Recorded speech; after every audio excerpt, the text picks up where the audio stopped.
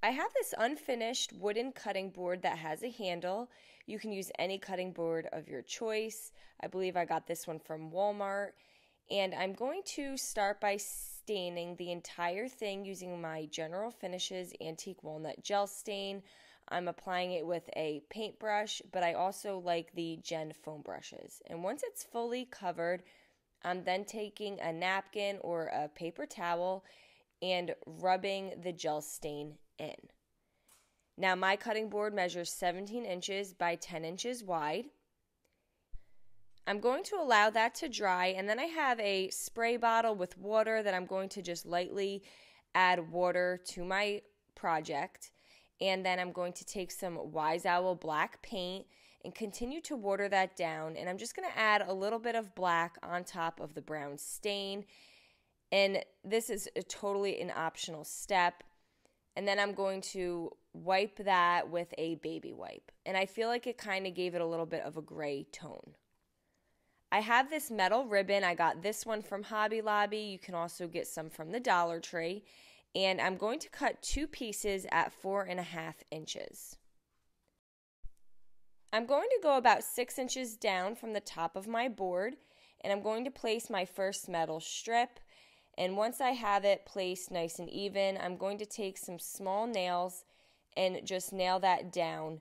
And you want to make sure the head of the nail is bigger than the opening in the ribbon, and this is going to hold that on the board nicely. I took my second piece of metal ribbon that I cut and I placed that about six inches below the first metal strip and I nailed that in place as well.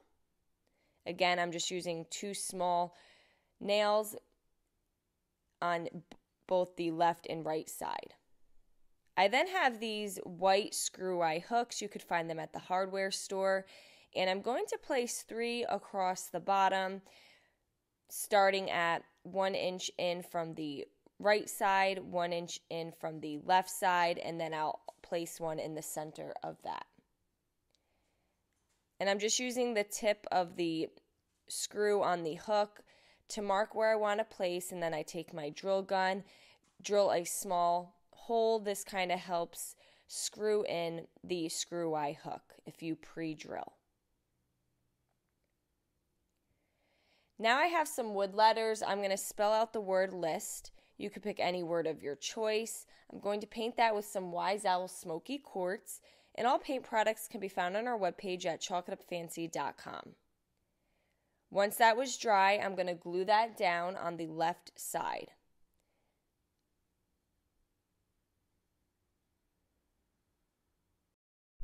I have some office clips.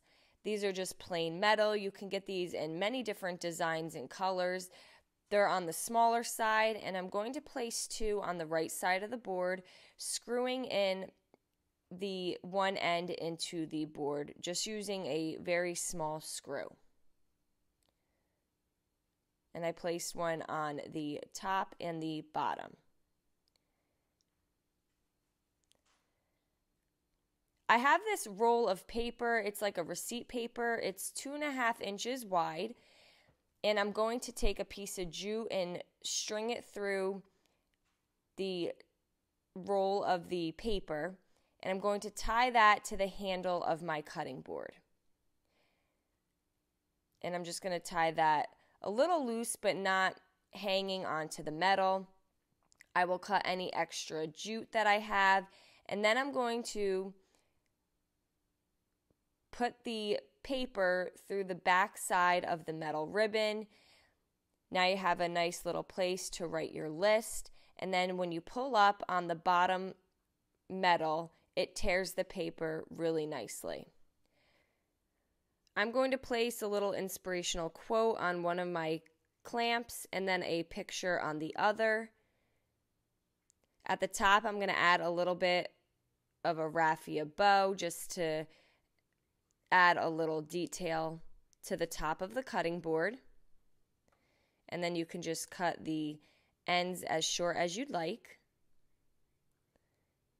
And then there you go. Now we have this very easy list decor that would look nice in a kitchen. I hope you enjoyed this video. Paint products, tissue paper, transfers, and mesh stencils can all be found on our webpage at chalkitupfancy.com.